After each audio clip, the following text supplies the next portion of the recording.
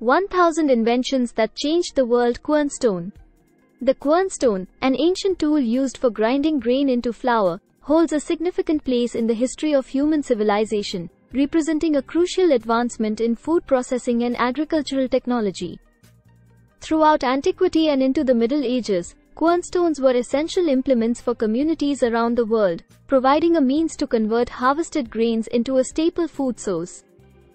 The origins of the quernstone can be traced back to prehistoric times, with evidence of early grinding stones dating back tens of thousands of years. These primitive grinding tools were typically made from flat rocks or stones, with one stone serving as a base, the metate, and another stone, the mano, used to grind grains or seeds against the surface. As human societies transitioned from hunter-gatherer lifestyles to settled agricultural communities, the need for more efficient grain processing tools became apparent. The invention of the quernstone marked a significant advancement in this regard, providing a more effective and systematic method for grinding grains into flour. The quernstone consists of two circular stones, known as the quern and the handstone, which are used together to grind grains. The quernstone is typically made from hard, durable rocks such as sandstone, granite, or basalt, which can withstand the repeated grinding action without wearing down too quickly. The quernstone is operated by placing grains or seeds on the flat surface of the quern and then using the handstone to grind them into flour by rotating it back and forth or in a circular motion.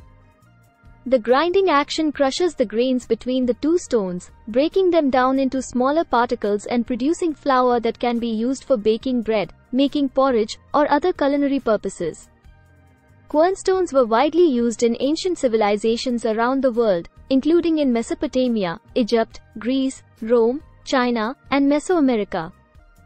They were essential tools for households, communities, and even larger scale operations such as mills and granaries, where grains were processed in large quantities to feed populations. In addition to their practical utility, quernstones also held cultural and symbolic significance in many societies.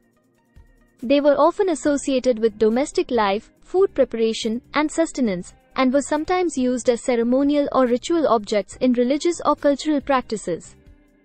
The design and construction of quern stones varied depending on the region and the materials available.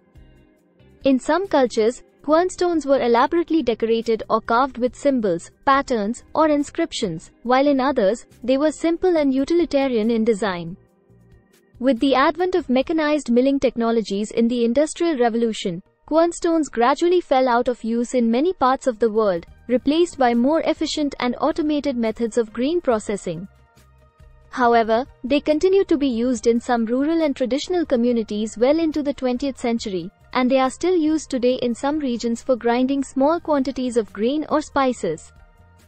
In conclusion, the quernstone played a vital role in human history, providing a means to process grains and seeds into flour for thousands of years. As one of the earliest examples of food processing technology, the quernstone represents an important milestone in the development of agriculture, cuisine, and civilization.